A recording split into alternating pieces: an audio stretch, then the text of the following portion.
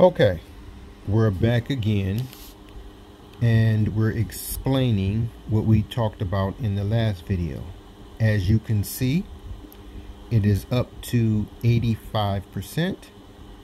I still have the double lines as the time to empty. That means it's gone up uh, past 100 hours.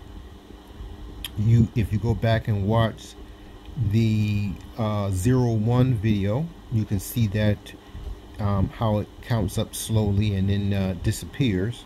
So once it gets up to a hundred it just gives you the double lines. So again this time to empty is over a hundred hours. Okay? And right now we've been running this for two hours. And we're up to 85 when it was down, when it was 8 um, watts going in and 8 watts going out, we were at 84. So you see that it is tracking upwards. Okay? So the whole point is is that we're trying to prove because we have people making comments. Um, Dave Dave just made a comment and he, uh, he said that it I self-destructed. Don't know exactly what that means, but we want to dispel because I went on his channel and started to see that he's using the word over unity and trying to explain his theory on what over unity, which made me think. I think I'm going to start pacing all these little movies together on everybody who says what over unity is. And the most comical one I've seen is this guy from um, Mexico who has this weird wooden structure. And he says, watch this. This is over unity. And the flip the, the wood flips upside down and goes over to the other side. And he says over unity. There is literally thousands of these videos of everyone using the word because they like it. So I wrote back to Dave Dave and told him, I says, look, dude, if you got a theory of something motor that puts out more energy than you put into it, give it its own name. Don't use someone else's name and say this is over unity because you're just going to add to the thousands of people who are out there using someone else's words, which is mine, and then say this is over unity and you just become part of the collection of people who all claiming over unity. But here's the key. You ask them, did you make that name up? Did you produce over unity? What's the definition of over unity? And none of them can explain it. They only say more power out. Well, give me the definitions. Now, what we're going to be doing here is not only giving you the definition, we're going to show you what we're doing, and then we're going to give you equations in physics. Okay, so V over 1, which is over unity, will be explained in physics how it works step by step in each one of these videos. And when, like I said, when I finished all these videos, you will have a good understanding what over unity is. And then we will have a good representative that no one else out there has ever given. They just say it's over unity and then they try to show you that they're putting more power. Now dave dave and you know who you wrote wrote the reason why you're getting extra power out is because when you run things through a motor okay and because the wind wires the looping wound wires around a magnet gives you that extra power.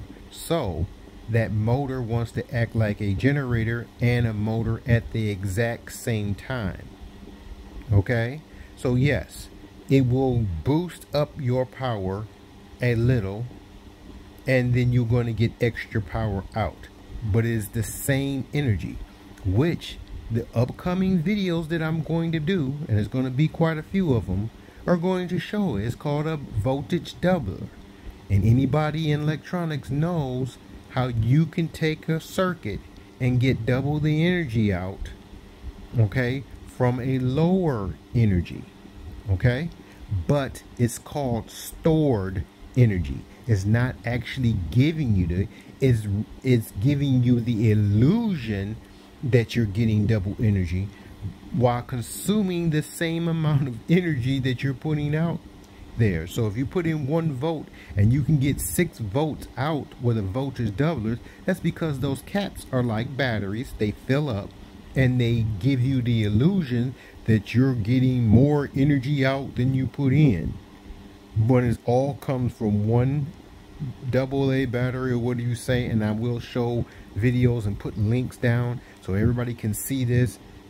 It's just that you fill those caps up and because you can alternate them back and forth it gives the appearance of more energy being produced out but it's the same energy that comes from there and we're going to explain that in more details but right now uh, two hours and something out I've still got a hundred hours.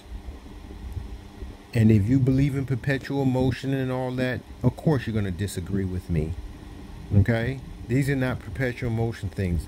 They're indefinite motion okay? They run for extremely long time which I'm trying to show you. I took a store-bought battery. That means this this Goal Zero battery. That's the symbol. That's the okay? So we case I, am, I pronounced it wrong. And I'm trying to show you just by taking this cord right here and putting 5 volts 2 amps into this system that I can put what? More energy in than I'm getting out so now I'm running something and charging it at the same time and what is my time to empty is either with the word uncalculable or it's a hundred hours, over a hundred hours and more. So the only way you're going to learn this if I try to document it, I keep recording it, and I'm just going to keep letting it run. Now, anybody's out there who gets these things and you got a solar panel that puts out uh, two amps and five volts, and you plug that into it, okay, and go back and look at my zero zero, you start to understand that I've already got a loop. That means I can take the energy out of here and it'll boost it up and then I can put the energy back into this.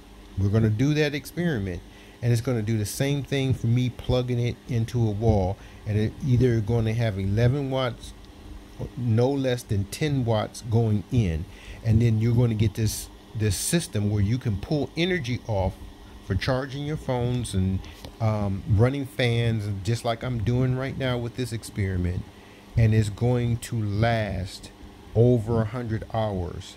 It's going to go up. Let's see if we can get that into the frame. Go up.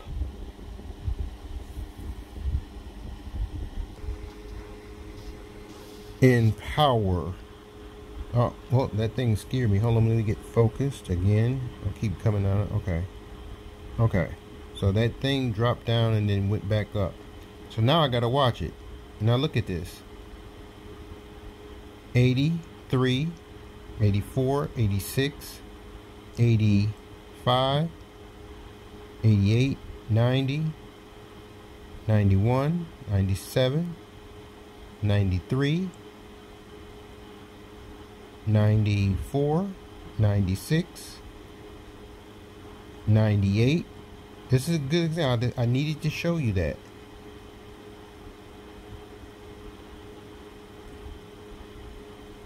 and then 99 and then it hit 100 and then it goes to the double line okay and we're going to check back We're just going to let this run and we're going to keep checking back on how long we can run this system now I think I'm putting out more amps than I am uh, putting in so that will go down and again this is not something that's supposed to run forever.